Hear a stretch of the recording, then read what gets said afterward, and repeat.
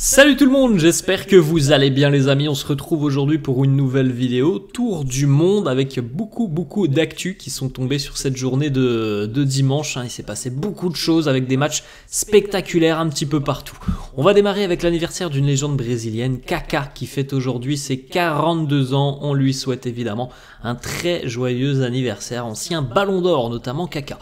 On poursuit du côté des réseaux sociaux avec euh, le classico hier entre le Real et le Barça, la victoire du Real 3 buts à 2. Euh, Fermin Lopez qui a célébré un petit peu à la façon de Jude Bellingham devant euh, donc le, le Bernabeu et Vini a réagi sur les réseaux sociaux en disant il croit que c'est Jude Bellingham en parlant de Fermin. Bradley Barcola sur Instagram, le PSG aussi a disposé assez facilement de l'Olympique Lyonnais, 4 buts à 1. Bradley Barcola sur Insta qui nous dit la justice de Dieu. Voilà une petite image aussi sympa dans le vestiaire euh, merengue, Vini, Bellingham, Modric. Le Real a quasiment assuré son nouveau titre de champion d'Espagne en prenant 11 points d'avance sur le Barça. À 6 journées de la fin, il ne manque plus que donc 8 euh, points au Real pour être officiellement champion d'Espagne. On regarde les amis l'égalisation dingue de Faris Mumbania hier à la 96e minute. Mumbania qui permet à l'OM d'égaliser à Toulouse d'un retourné acrobatique magnifique. Hein, le but de, de Mumbania. L'OM est invaincu à, Toulouse depuis 15 matchs et 17 ans. On continue les amis avec une petite information qui concerne euh, hier la rencontre entre le Barça et enfin le Real et le Barça où on a eu une situation hyper litigieuse euh, au niveau de la de la ligne de but sur un corner qui a été dévié par Lamine Yamal. Et donc André Lounine sort le ballon mais on ne saura jamais certainement hein, si ce ballon est rentré ou, ou non, puisqu'il n'y a pas de goal line technologie en Liga, ce qui est quand même assez euh, dingue. Donc euh, voilà, l'angle de la caméra peut tromper l'œil, on le rappelle, puisque pour certains le ballon est rentré, pour d'autres le ballon n'est pas rentré. Tout ce que l'on peut dire, c'est que au vu des angles de la, de la VAR, on ne peut pas certifier que le ballon est rentré et c'est donc pour ça que il n'y a pas eu de but accordé euh, hier. Ce qui est surtout aberrant, c'est qu'il n'y ait pas la goal line en Liga. Hein. Ça, c'est quand même une, une dinguerie euh, totale.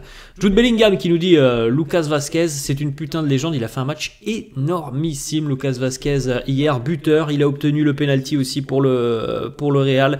Jude a marqué lui à la 91e minute. Le Feyenoord aux Pays-Bas qui fête la victoire en finale de Coupe des Pays-Bas comme il se doit dans les vestiaires. Hein. Il y avait évidemment beaucoup beaucoup de joie. Voilà un petit peu ce qu'est l'ADN du, euh, du Real Madrid qui a remporté donc euh, les trois classicos face au Barça euh, cette saison. C'était assez assez dingue. Dani Carvajal en début de saison puisque en pré-saison le Real et le Barça s'étaient retrouvés du côté des États-Unis et euh, le Barça s'était imposé, mais évidemment c'était un match amical. Euh, Dani Carvajal avait sorti cette déclaration. Dans les compétitions officielles, nous allons marcher sur le Barça. C'est exactement ce qu'il s'est passé entre le, Real et le Barça. Marc-André Ter Stegen après le Classico, c'est une honte pour le monde du football. Pas de goal line technologie, il y a beaucoup d'argent dans cette industrie, mais apparemment pas plus, pas pour le plus important. Alors là, vous avez l'image, les amis, sur la droite, je pense qu'on va la retrouver un petit peu plus bas dans le fil d'actualité. L'image d'André Lounine qui, bah, qui sort ce ballon. Est-ce que c'est sur la ligne Est-ce que c'est dans le but? Bah, ça restera un, un, mystère et évidemment que ça aurait peut-être pu aussi changer le cours de la rencontre. Il y avait un partout. À ce moment-là, on jouait, je crois, la 25e, 30e minute à peu près. Et ça aurait pu faire 2-1 pour le Barça. Xavi qui nous dit euh, on était meilleur que Madrid ce soir, on méritait la victoire. Ah, c'est absolument incroyable. C'est à chaque classico, à chaque classico, on a les mêmes déclarations de Xavi qui perd, mais à chaque fois il est meilleur que l'adversaire. C'est incroyable hein, de la part de, de Xavi. Je me souviens euh, qu'il nous avait dit absolument la même chose au match aller en, en championnat. Bon, je pense pas qu'il l'avait dit en Super Coupe puisqu'ils avaient pris 4-1, mais là hier encore une fois il nous sort, on était meilleurs, mais au final ils ont perdu. On poursuit avec euh, une petite photo et une petite prédiction peut-être. Le prochain Ballon d'Or, en tout cas, Jude Bellingham fait une saison exceptionnel. Si le Real va au bout en Liga, ce qui a 99,99% de chances d'arriver, il va se rapprocher du, du Ballon d'Or. Si le Real va au bout en Ligue des Champions, je pense qu'il n'y aura même plus de débat. Ça sera Bellingham qui sera, euh, qui sera Ballon d'Or. On continue les amis avec Marquinhos qui nous dit on va aller chercher le titre, la Coupe de France et la Ligue des Champions.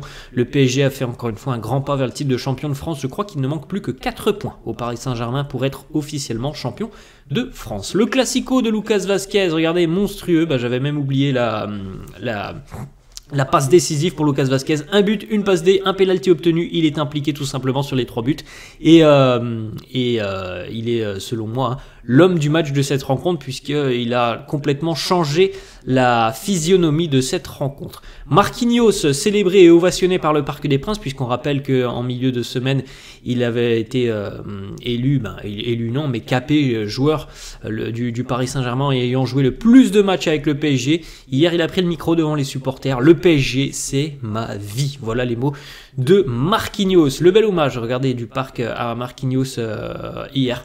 À l'aller comme au retour, Jude Bellingham a fait gagner le Classico au Real.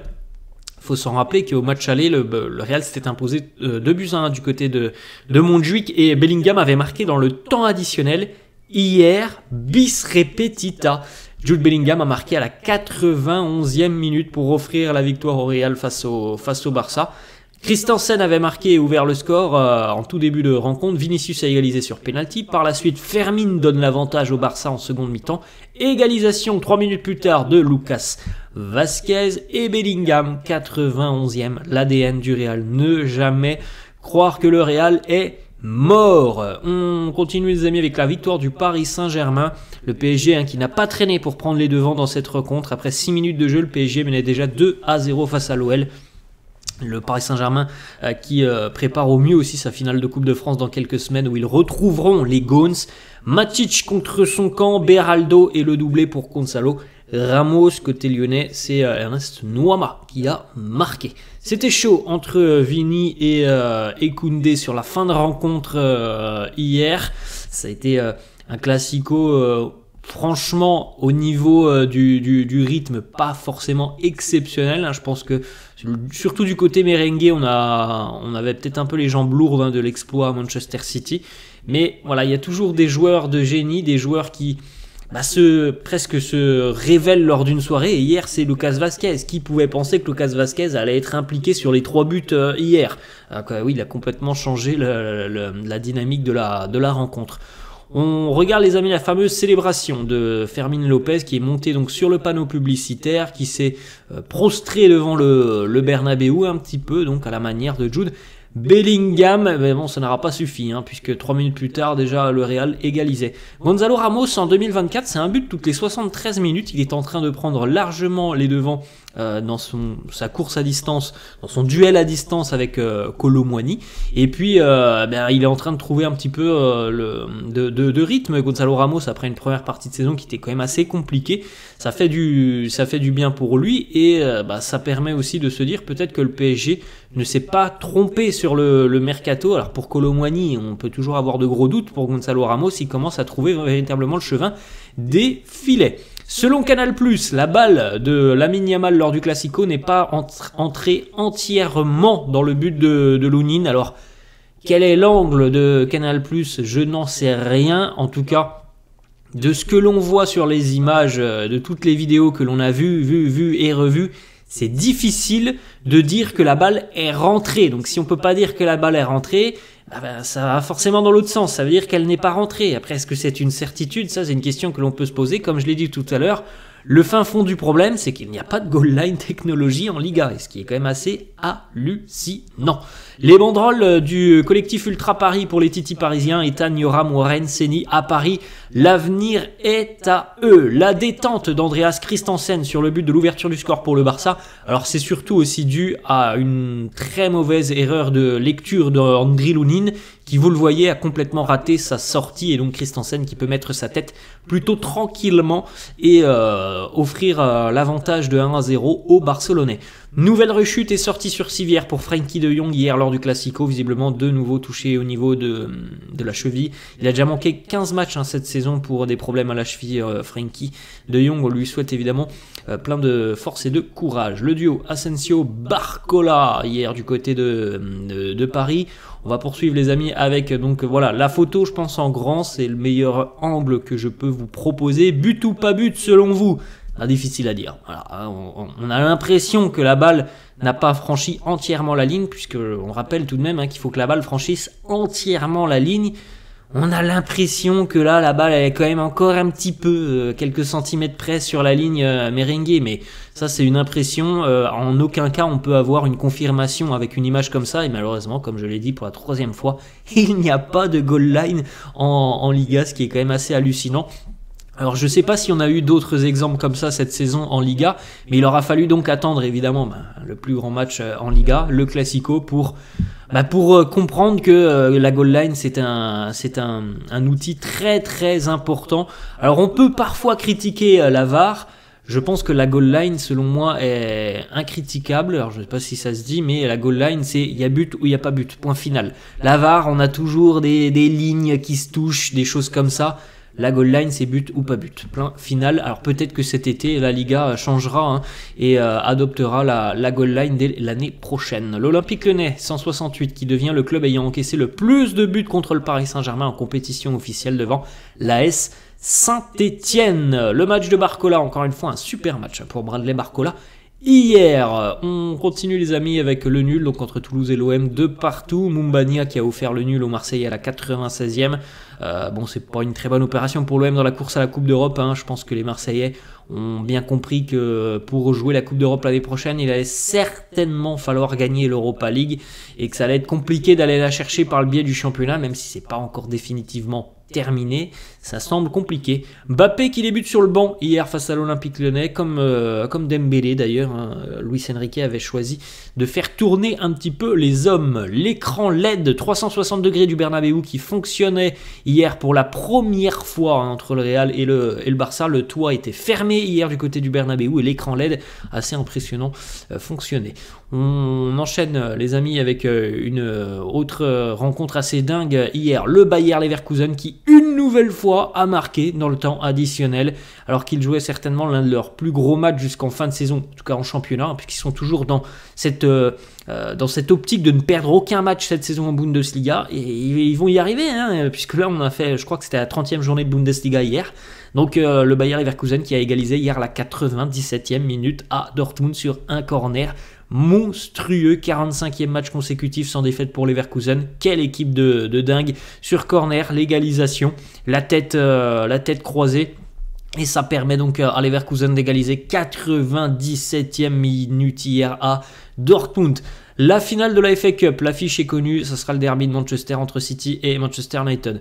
Passé de 3-0 à 3-3, quel changement sur le visage de Sir Jim Radcliffe, puisqu'on a eu un match aussi complètement démentiel hier en FA Cup entre Manchester United et l'équipe de seconde division de Coventry. Un match euh, franchement, hein, pas loin, on n'est pas passé loin de la catastrophe et du ridicule pour Manchester, euh, pour Manchester United qui menait 3-0 avant d'être euh, rejoint 3 partout. Regardez surtout que, United menait 3-0 à la 70e et puis on est revenu à 3-3 à la 93e grâce à un penalty du côté de Coventry. Coventry a même marqué un but hors jeu euh, en, dans les prolongations à la 120e. Le but a été euh, refusé pour un hors jeu ben, de 2 cm et ça s'est joué sur la séance des, tirs au but. Liverpool, euh, grâce notamment à un but sur coup franc de Trent Alexander-Arnold, s'est imposé 3 buts à 1 du côté de Fulham. Liverpool recolle aux Gunners d'Arsenal, mais City a un match en moins. Cardiff euh, qui réclame 120 millions d'euros au FC Nantes après une réestimation de son préjudice économique suite au décès d'Emiliano Sala. Dans une étude, le club estime qu'il aurait eu 54% de, chances de se maintenir avec l'attaquant.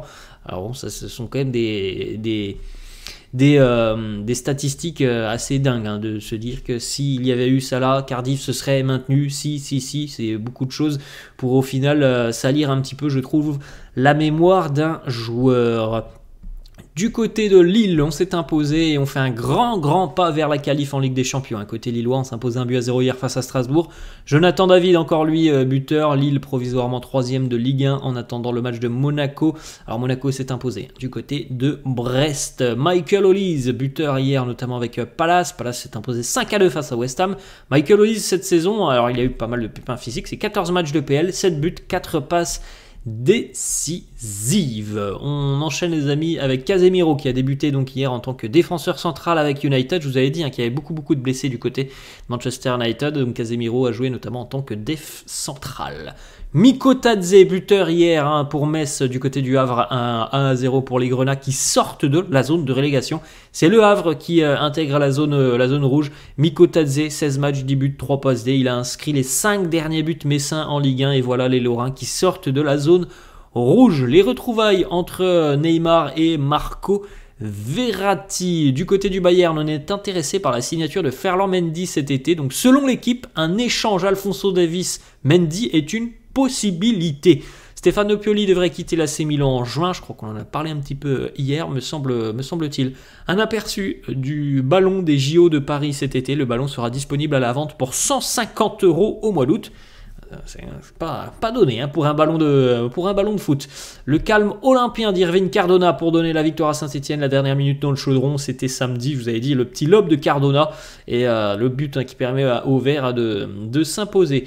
Les supporters du Barça qui n'ont pas aimé le départ d'Ousmane Dembélé pour le PSG l'été dernier, je n'ai pas aimé comment il s'est comporté au match aller, on va lui faire vivre un enfer. C'est plutôt Dembélé qui a fait vivre un enfer à son ancienne équipe. Le retour de Dembélé du côté d'Evreux, son ami euh, d'enfance, ses euh, anciens voisins se souviennent de lui euh, plus, plus jeune. Dembélé sur son style de jeu, son arrivée au PSG, nous dit j'aime bien dribbler, essayer de faire soulever les foules Paris, c'est tout ça, et j'espère ramener tout ça ici. Vini, après la qualif du Real en demi de Ligue des Champions, nous dit à chaque fois qu'on donne le Real pour mort, on trouve toujours le moyen de revenir. Du côté de Lens, Brice Samba très déçu du comportement du public lensois après le match, enfin pendant le match face à Clermont samedi soir où il y a eu des sifflets envers Eli Ouahi.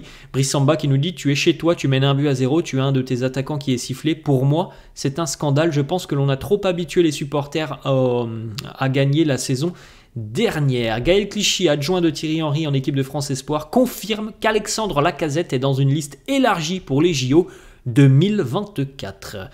Le petit échange entre un journaliste qui demande à Kylian est-ce que le résultat et la victoire face au Barça peut faire changer d'avis Mbappé sur son futur club? Réponse de Kylian non, non. Mbappé qui nous dit aussi représenter le club de la capitale de mon pays, c'est quelque chose de spécial, surtout pour moi qui ai grandi euh, ici, vivre des soirées comme ça, c'est grand. La, la, stat aussi sur Mbappé face au Barça, Kylian est entré déjà dans le top 10 des meilleurs buteurs de l'histoire de la LDC. Il totalise 48 buts. Mbappé. Voilà les amis, la fin de cette vidéo. J'espère que ça vous a plu. N'hésitez pas comme d'hab lâcher un petit pouce bleu. N'hésitez pas non plus à vous abonner à la chaîne. Je vous laisse et je vous dis à la prochaine. Ciao